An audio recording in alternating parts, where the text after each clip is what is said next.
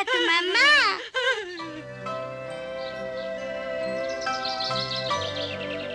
Bueno, pequeñina, si no sabes quiénes son tus padres... ¿Es que no tienes idea de cómo podrían ser sus padres? No es tan sencillo. Todas las orugas se parecen mucho entre sí, pero voy a echarle un vistazo de cerca. Mm. Eh, dejadme pensar. Eh. Mm, eh, No será... ¡Ey! ¡No, no, no! no! ¡Ay, madre mía! ¡Ay, madre mía! ¡Ay, madre mía! ¡Ay, ay!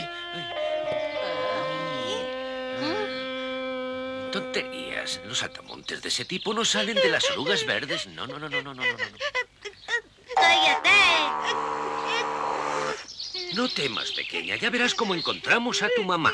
Esto se lo estamos prometiendo desde que la vimos, pero ¿cómo vamos a encontrar a su mamá si ni siquiera sabemos qué aspecto tiene? Sí, necesitamos una pista.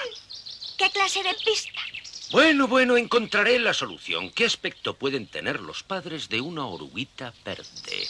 ¿Y qué clase de insectos serán sus padres? ¿Mariposas, En escarabajos? la escuela me enseñaron que las mariposas casi siempre comen algo distinto que los escarabajos. Así podríamos, por eliminación, descubrir algo. Es cierto, Willy, pero no sé de qué manera eso nos puede dar la solución. Si tenemos que analizar todo lo que comen los animalitos del bosque, nos pasaremos la vida buscando.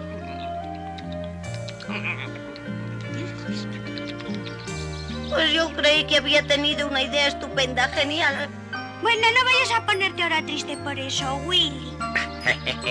Las ideas pueden ser buenas o malas, pero al fin y al cabo son ideas y suponen que uno piensa. ¡Ay!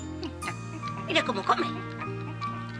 ¡Ya lo tengo! ¡Ay! ¡Ya lo tengo! ¡Ya lo tengo! ¡Ya, ya, ya, ya, ya, ya, ya lo tengo!